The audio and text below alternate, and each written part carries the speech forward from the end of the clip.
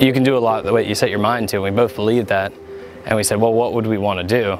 And like to really empower us and do that. And we came up with Sail Around the World. And, uh, you know, so from the sailing point, I said, you know, we could do this. And then I think for both of us and, you know, experience and Zach with, you know, his experience on the water and, and in biology and just willingness to adventure and both of us being willing to, to do it, that, that combined into this, well, we could do this.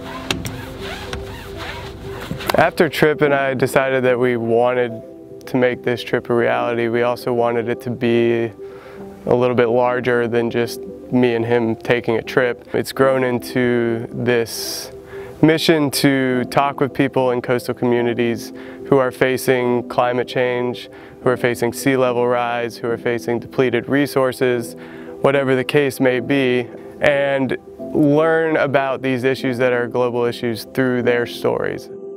Really, the one issue that is facing every single human on this planet is climate change.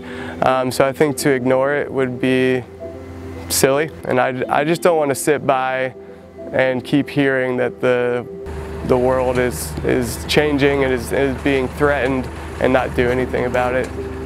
You know, we're doing all this prep right now on the boat and getting everything ready and making all these plans, but we have no idea.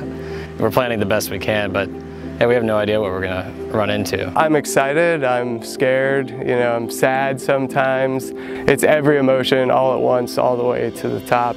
I'm most looking forward to honestly getting out there. The feeling of leaving to go offshore and then the feeling of being offshore after the first few days, it's undescribable. The, the like liberation and the sort of vulnerability too while you're out there, I think it brings out the best in people.